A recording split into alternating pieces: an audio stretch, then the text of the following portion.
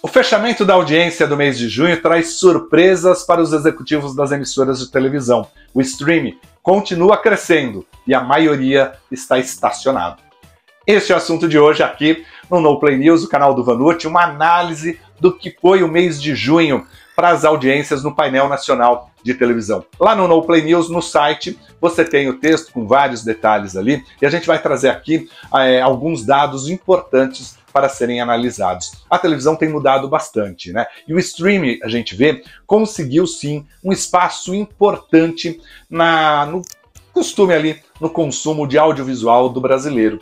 Desde a pandemia, o brasileiro passou a se envolver mais com as séries americanas, com os programas, com a possibilidade, com a realidade da gente consumir audiovisual, não só sentado na sala ou no seu quarto ou em algum canto, com a televisão fixa, mas em movimento no seu tablet, no seu celular, em outras possibilidades.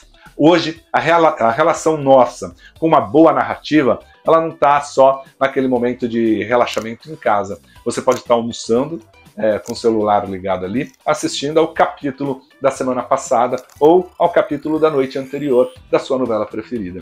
E isso traz uma discussão muito importante, porque a medição de audiência também vai precisar mudar é, diante da nova realidade. Já se fala muito, e já tem o parâmetro ali, que é, o, é uma audiência do impacto, do engajamento daquele conteúdo.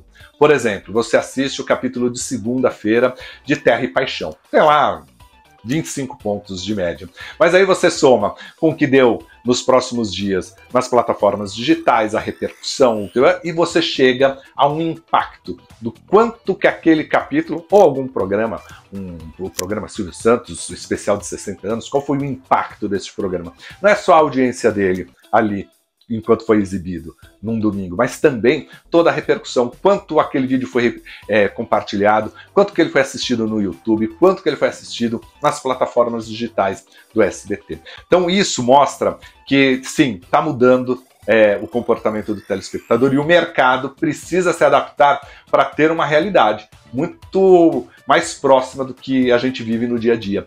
É, a audiência precisa prever todos esses impactos. Mas o que a gente consegue ver nos números de junho? O crescimento do streaming. Pequeno, mas talvez o único que cresceu. Em junho, no PNT, no painel nacional de televisão, os dois crescimentos registrados foram da Record, 5%, e das plataformas digitais, 6%. O SBT, para você ter uma ideia, caiu 14%.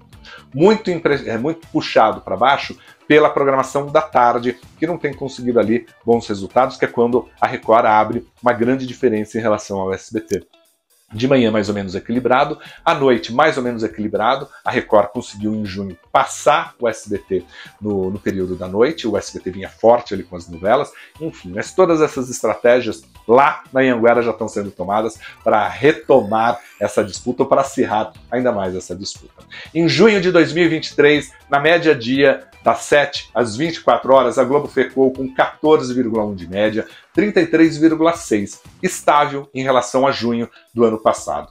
É, o streaming ficou com 9,2 pontos, 21,9% de share, um share importante ali, né? 6% de crescimento em relação ao mesmo mês do ano passado.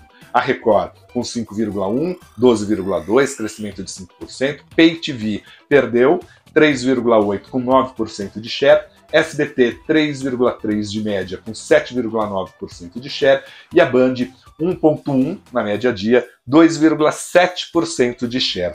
Já em junho de 2022, para que você possa comparar, a Globo ficou com 14,4%, 33,8% de share estacionado, é, o Stream 8,7%, 20,4% de share, a Record 4,9%, 11,5% de share, Pay TV 4,4% com 10,2% de share, o SBT 3,8%, 8,9% e de share, e a Band 1,4% de média, 3,2% de share.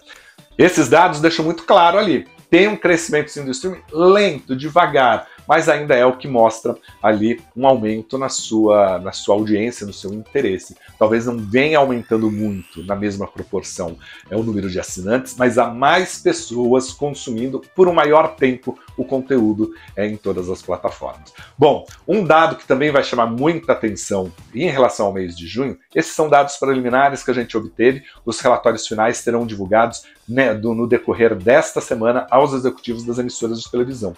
Mas, segundo esses dados, no horário nobre, também tem uma situação de crescimento ali do streaming. Né?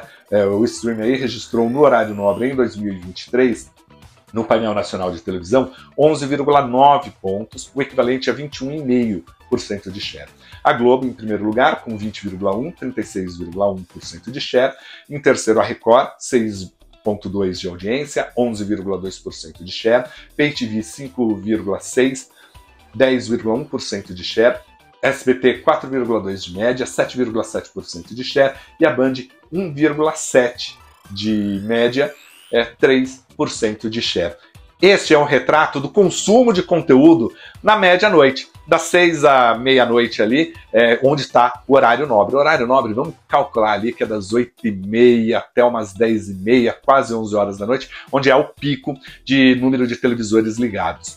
É, isso mostra uma competição cada vez mais acirrada e o streaming entrando para valer em todas as faixas. O streaming cresceu na manhã, na tarde, na noite e na média dia, é, na comparação de junho de 2023 com junho de 2022. Isso mostra, deixa bem claro aos diretores das emissoras de TV aberta de que é preciso sim fazer alguma coisa para reconquistar esse telespectador. Tem muita gente saindo do, da TV aberta para as plataformas digitais. Claro, você vai falar assim, ah, mas também tem muito produto que às vezes a gente não consegue assistir na TV aberta e já está na plataforma na plataforma digital. A infância de Romeu e Julieta, por exemplo, ou as novelas da Globo, que você também consegue assistir no Globoplay. Enfim, é por isso que eu falo que agora o que vale na medição é o impacto.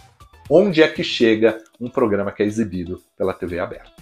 Bom, continue aqui no No Play News, continue aqui no canal do Manute no YouTube, tem muita informação para você.